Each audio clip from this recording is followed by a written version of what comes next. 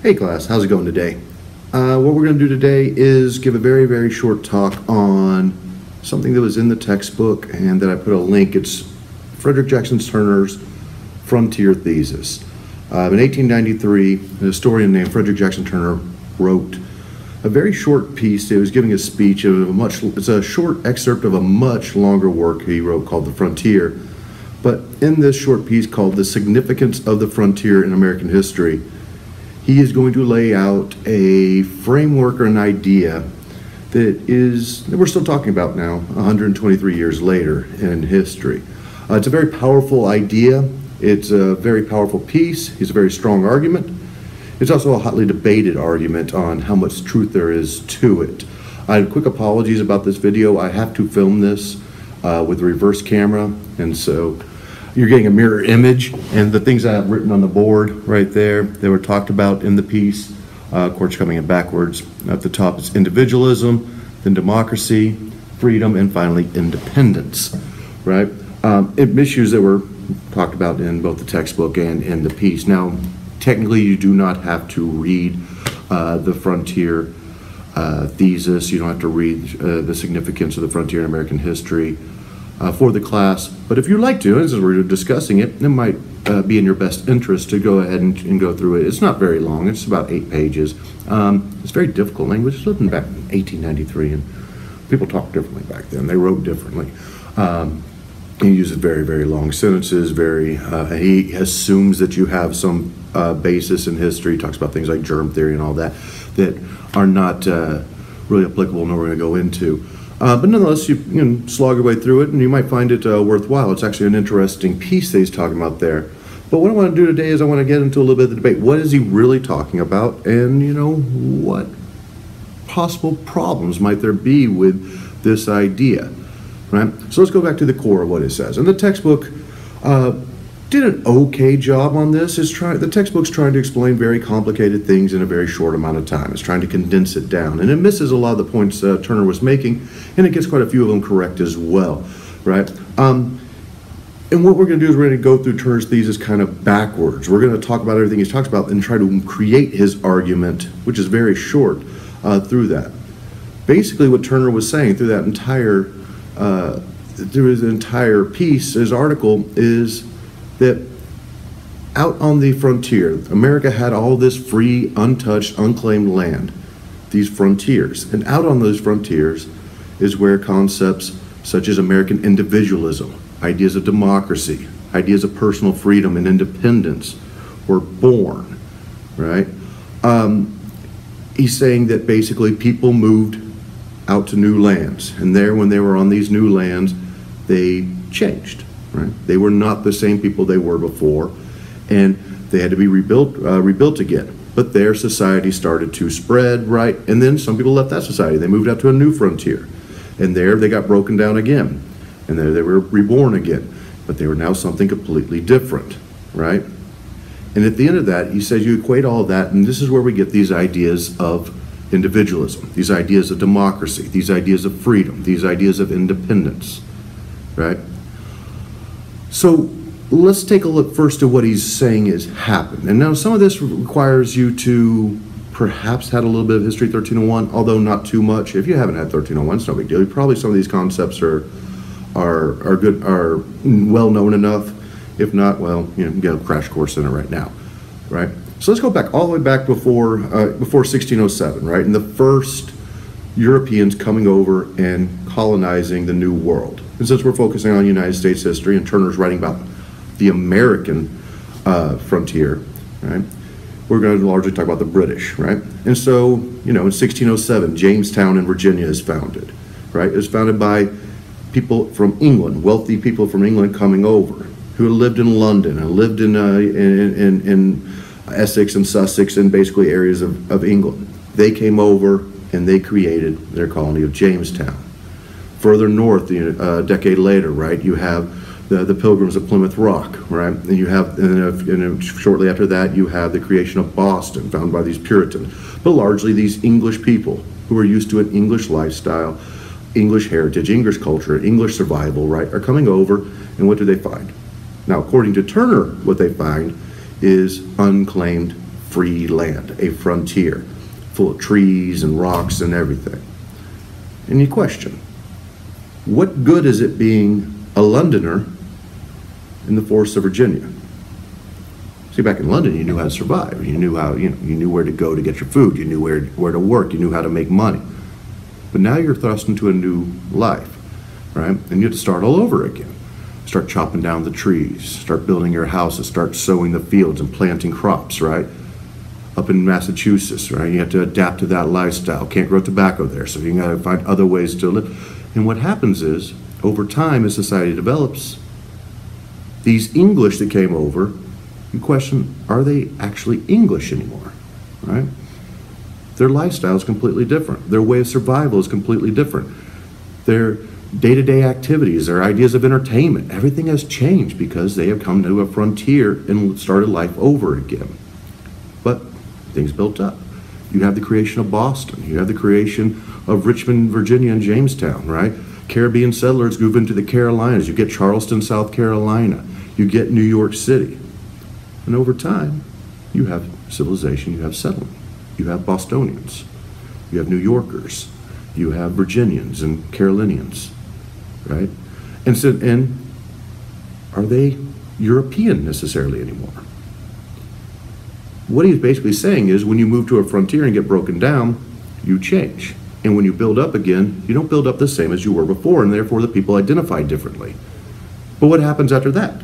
So initially, early on, and up until the American Revolution, right, the British colonies were small, basically the Atlantic coast. You know, colonists weren't allowed to cross over the Appalachian Mountains until after the Revolution, really, right? But then, after America went to its revolution, you start to see a wave of Americans moving west into the Ohio River Valley in the Northwest Territory, into Kentucky, and into areas like Missouri, down into Louisiana and Mississippi, Alabama. And as they come over, what do they find again? Another frontier. Free, untapped, unclaimed land. But now they come over as Bostonians. They come over as New Yorkers. They're coming over as Virginians. And what happens to them when they arrive in Kentucky, when they arrive in Ohio, when they arrive on the banks of the Mississippi River Missouri? When they get broken down again and they build up. And when they build up, are they necessarily Bostonians anymore? Are they Virginians anymore? Are they uh, South Carolinians anymore? Maybe there's something different. And then we had more frontiers. And Turner goes into a lot of these frontiers, right? Um, you might remember from the reading in 1849 in the, uh, the gold rush, right? The Overland Trail. Now you have the, the settlement wagons going west, right? Up into California, into Oregon. You have ranchers moving out with the Homestead Act and things like that, moving out into the Midwest, moving into the areas of New Mexico, into Spanish speaking lands. You have people moving into Texas, if you might remember if you had 1301 about the Texas Revolution. And there, they come as people from St. Louis. They come as uh, as uh, Ohioans. They come as Kentucky, uh, Kentucky, Kentuckers. I don't know. Uh, they, they come from Kentucky, right? They they they they end up uh, moving out there. And what happens again? They get broken down. Now, what's the point of this? Um, what Frederick Jackson Turner is trying to argue here is something that I'll get by way of analogy right? Um, and in all of this, this analogy, I kind of just well explained, but it sometimes helps put it a personal. Imagine if you left wherever you live. Now, a lot of you live in Houston, but some, not all of you. I've read, uh, I've read your, uh, you're welcome here. Some of y'all are in San Marcos. I think maybe a couple of y'all are up in Dallas, right? Um, Tomball area, Woodlands, wherever it might be. You know how to live in that area. You live there. You know where to go get your food at the grocery store, right? You know how to get to work. You know how to make money. You know how to get to your school. You know how to get onto the internet. What happens if you move to northern Alaska? You're like, you know, fuck this, I'm gone. I'm going to go up to the frontier of northern Alaska. And there you head out. Now think about the first things you have to do, right? First, you just need to survive. What good is it being from Houston in northern Alaska? Everything there is completely different, right? Everything there is, uh, it, well, it's cold, I'm sure, all right? You don't know where to go to get your food. You don't know how to make money or how, how, how to live out there. You have to relearn those things. So you get broken down to the basics. You start chopping down trees and building your houses. You start plowing the fields and start growing whatever, know, okay, it's northern Alaska, probably can't grow too many crops, so let's not take this analogy too far. But you start, you know, growing crops, right? Fucking grizzly bears coming after you from all over, and you get to stab them, kill them off, right? You know, when you start wearing their heads for a hat and all that. So, what happens over the course of time, right? 10 years, 15 years. You've lived up in northern Alaska. And you step out of your house one day and you look at it. The house that you built, right? And you look at your crops. Those are your crops. You did it. It was all you. You put it there. You made it. You created it. The grizzly bears paying you respect now, man. They're not going to mess with you, right? You have their head on pikes or something, right? It's there. How do you feel at that point, right? A strong individual, very independent, right? But what else about this? Everything that you did, you created yourself. So imagine one day there's a knock on the door. And it's the US government coming by. An official from Washington, D.C. And this federal agent says, comes to you and says, Hey, look at this. Look at you up in northern Alaska. Man, you're doing great. Got a nice house, got these fields right. You know, you really got things under control. But uh, you've been doing it all wrong. You know, you see those crops you're growing there? Ah, those are an invasive species in this ecosystem, right? You, you can't grow those. Okay, you got you got rip those up. They're gonna you're gonna harm the ecosystem, right? Uh, you your, your your house here, beautiful house. Yeah, you haven't paid property taxes in 25 years. You know, you're living on government land. You know, this belongs to the United States. You got to pay your property taxes. Oh, and those grizzly bears you killed, endangered species. Yeah, we're going to find you for that, right? How would you feel about that? And actually, if you technically look at those laws, there's really nothing wrong with those laws. We probably shouldn't plant invasive species in an ecosystem, right? You probably, unless you just hate animals, you probably shouldn't just go around killing endangered species, right? Um, and yes, we, I mean, nobody likes paying taxes, but taxes are required for a government to run, so we should probably have some expectation to pay taxes. So why are we upset when the government knocks on our door after living out in northern Alaska by ourselves for 25 years? On the frontier. Well, was the government there when you were fighting off the grizzly bears? Was the government helping you when you were building your house? Was the government there when during the hard times? No, it seems like they're coming after the fact and saying, "Yeah, you're doing it great, but you've been doing it all wrong. Now do what we say." And what develops to you all those laws would have made sense when you lived back in Houston, when you lived in San Marcos, when you lived in Dallas, when you lived wherever, right? They don't make sense to you anymore in Northern Alaska. You're a different person. You have changed. You have different ideas about freedom. You have different ideas about your role in government and democracy. You yourself are different. So what's the point here? What's Turner's point then, right? And this isn't just Turner. Turner didn't go this much into detail, but people that, I guess you can call them Turnerians, people that really support Turner's thesis, their argument is basically this, right? That it's the frontier that creates these things that we uniquely identify as American. America, right? American ideas. Well, are American ideas different than ideas in the rest of the world? Right? Is America somehow a different nation than China, than Peru, than Germany, than you know uh, Nigeria? Are they different nations? Or are people just people, you know, and they're just living in a nation? Or are there actual characteristics that are different about these nations? Turner would argue, yes, there are, right? The main point that Turner was trying to explain is this concept in American history that some historians prescribe to, quite a lot actually, um, and some do not, right, called American exceptionalism. That America is kind of the exception to the rule. That for whatever reason, America's just different. America is not the same as other places, right? And if you believe that, well, you need to explain, well, why is America different? According to Turner, why is America different? Why are these things different in America than elsewhere? Because America had access to this frontier, this untapped free land where basically white Europeans moved out to, got broken down, built up, and became something different. Their identity changed compared to their roots right? And this happened over and over again to build a unique American identity, right? Or a bunch of unique American identities, I think is more fair. Um, plausible, possible, certainly an interesting argument. Uh, but as, once again, the textbook said in a short little paragraph, a bunch of new historians, uh, uh, Western historians, are question Turner's of thesis. Um, I don't know why they put that in quotes. It's actually, you know, they're, it's a legit, uh, it's a legit question about Turner's thesis. Uh, because Turner, if you notice, if you just, if you have read the piece or if you just listen to what I say, there's a couple things we can question about Turner. First off, was this land free? Was this land unpopulated, untapped, undeveloped land? See, Turner's leaving out a pretty large group of people when he says that. That there were people here before the Europeans came over, right? Um, and even after the European came, Europeans came over, it wasn't just, you know, Northern Europeans. It wasn't just primarily the, the British, right? And, um, and, and, other groups that settle in America, like the German and the French and the Irish and such. It wasn't just them. Down in the South and the Southwest, you have large communities of Spanish-speaking people. And then, of course, the major group, right? Native Americans. They're, you know, Native Americans have been decimated by this point, largely through the diseases of the Columbian Exchange, but there were still large groups of Native Americans all throughout there. And to say that this was unfree, or free, untapped land for America's taking is, well, that's highly debatable. And all of these people moving out to the frontier, where did they learn how to live? Or how did they learn how to live, I should say?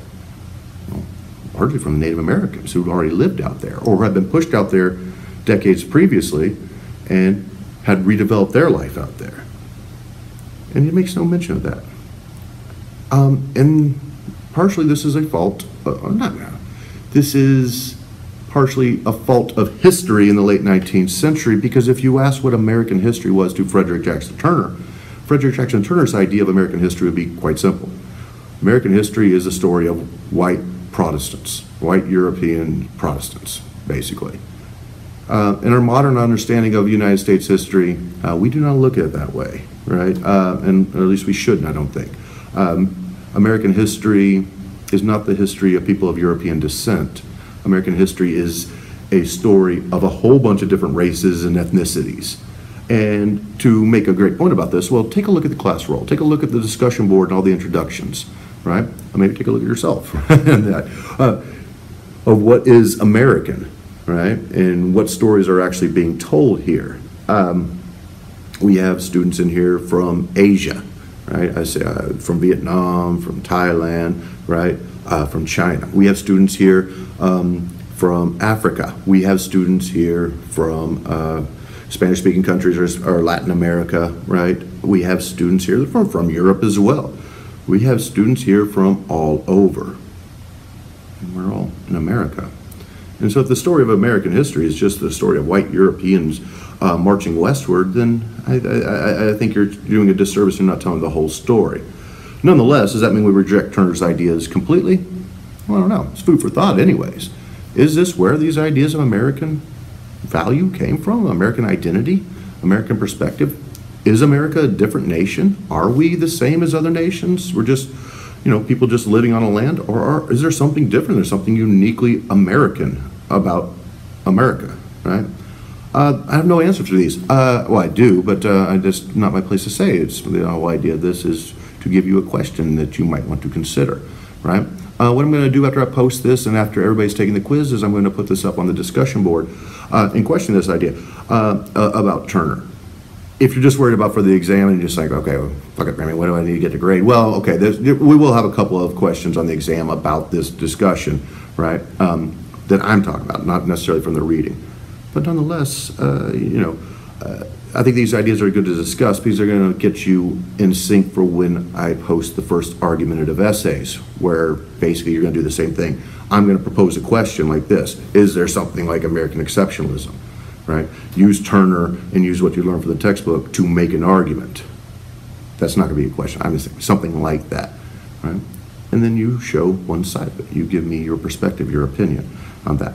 Anyways, I'll post this up on the board, and shortly after, hopefully I can finish it. As soon as I finish this video, I'm going to post the next video on uh, industrialization in the United States and the creation of a consumer economy. All right, talk to you later.